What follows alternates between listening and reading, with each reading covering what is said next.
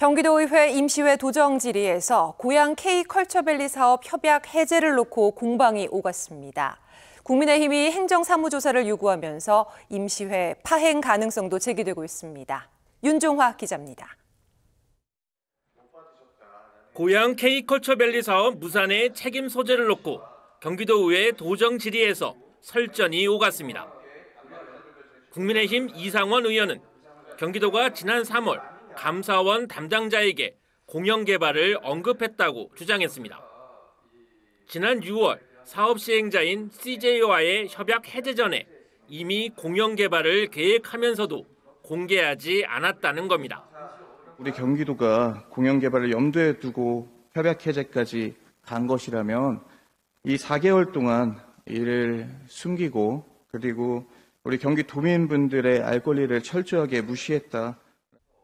김동연 지사는 사실 무근이라며 CJ의 무성의가 이번 사태의 발단이라고 반박했습니다.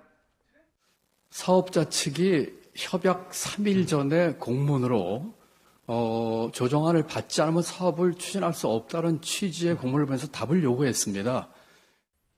더불어민주당 고은정 의원은 후속 대책을 물었고 김 지사는 용역 이후 구체적 안을 공개하겠다고 밝혔습니다. 그러면서 공영 개발뿐 아니라 CJ까지 포함한 민간 사업자의 참여도 가능하다고 말했습니다.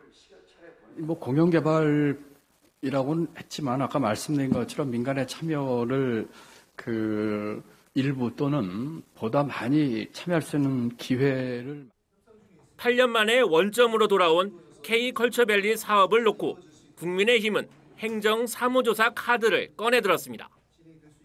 김동연 지사와 더불어민주당에게 강력히 촉구합니다. 행정사무조사를 통해 K걸처밸리 복합개발 사업의 정상화가 조속히 추진될 수 있도록 민주당은 행정사무조사가 아닌 상임위 차원의 소위 구성을 제안한 상황. 양당이 합의점을 찾지 못할 경우 경기도 추경안 심사 등의 차질이 우려됩니다. OBS 뉴스 윤정아입니다.